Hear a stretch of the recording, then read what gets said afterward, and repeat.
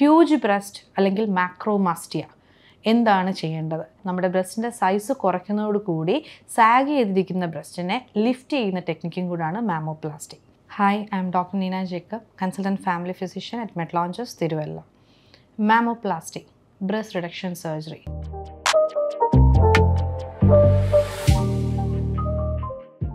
എന്താണ് ഈ സർജറി ആരാണ് ഈ സർജറി ചെയ്യേണ്ടത്? ആർക്കൊക്കെ ചെയ്യാം?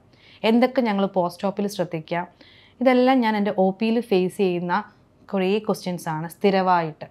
ഞാനൊരു ലേഡി ഫിസ് ഫിസിഷ്യൻ ആയതുകൊണ്ടാവാം ഫാമിലി ഫിസിഷ്യൻ ആയതുകൊണ്ടാവാം അല്ല ഞാൻ വർക്ക് ചെയ്യുന്ന ഒരു കോസ്മെറ്റിക് സെന്ററിലായതുകൊണ്ടാവാം ഇവിടെ വരുന്ന സ്ത്രീകൾ ഒട്ടനവധി പേർക്ക് അവർക്കുള്ള ബ്രസ്റ്റ് ഇഷ്യൂസ് എന്നോട് ഓപ്പൺ അപ്പ് ആവാറുണ്ട്.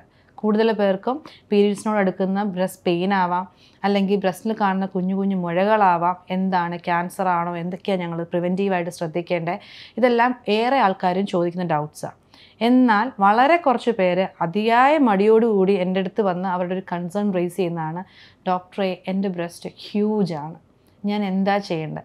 ഈവൻ മാരീഡ് അല്ലെങ്കിൽ കല്യാണം കഴിക്കാത്ത രണ്ട് കൂട്ടർക്കും ഉള്ള കൺസേൺ ആണ് സോഷ്യൽ സ്റ്റിഗ്മ ഞാൻ ഇൻട്രോവേർട്ട് ആവുന്നു ഒരു ഡ്രസ്സ് ഇടാൻ പറ്റുന്നില്ല എനിക്ക് ബുദ്ധിമുട്ടാണ് വെയിറ്റ് കൂടുന്നു തോൾ തോളുവേദന വരുന്നു. സോ ഇതെല്ലാം അവരെ ഒളിപ്പിച്ച് വെക്കുന്ന ആരോട് ഡിസ്ക്ലോസ് ചെയ്യുന്ന അറിയാത്ത അവരുടെ കുറേ ഇന്റേൺ കൺസേൺസ് ആണ് ബ്രസ്റ്റിനെ പറ്റിയുള്ള. സോ അതിനൊരു റീസൺ അല്ലെങ്കിൽ അതിനൊരു സൊല്യൂഷനും കൂടെ പറഞ്ഞു തരാനാണ് ഞാൻ നിൽക്കുന്നത്. ഹ്യൂജ് ബ്രസ്റ്റ് അല്ലെങ്കിൽ മാക്രോമാസ്റ്റിയ എന്താണ് ചെയ്യേണ്ടത്? നോക്കുക. നിങ്ങൾക്ക് ഹ്യൂജ് ബ്രസ്റ്റ് കൊണ്ട് സോഷ്യൽ സ്റ്റിഗ്മ ഒരു സൈഡിലുള്ളതല്ലാണ്ട് നിങ്ങൾക്ക് പേഴ്സണലി എന്തൊക്കെയാണ് ബുദ്ധിമുട്ടെന്ന് നോക്കുക.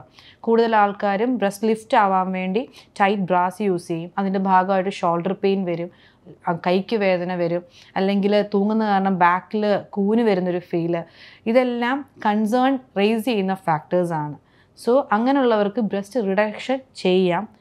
പ്രോപ്പറായിട്ട് പ്ലാസ്റ്റിക് ചെയ്യുന്ന സർജൻ പ്ലാസ്റ്റിക് സർജനെ കൺസൾട്ട് ചെയ്തിട്ട് അതിന്റെ പ്രോസും കോൺസും അറിഞ്ഞതിന് ശേഷം നിങ്ങൾക്ക് ഡിസൈഡ് ചെയ്യാം ചെയ്യണോ വേണ്ടയോ.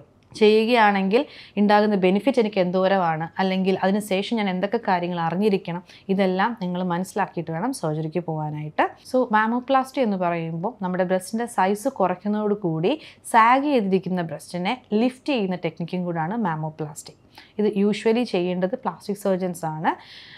അവർ അതിന്റെ ഷേപ്പ് റീമോഡൽ ചെയ്തെടുക്കുന്നത് കൂട്ടത്തിൽ നമുക്ക് എന്തൊക്കെ പോസ്റ്റ് ഓപ്പ് ശ്രദ്ധിക്കേണ്ട കാര്യങ്ങളും കൂടി അവർ യൂഷ്വലി പറയാറുണ്ട്.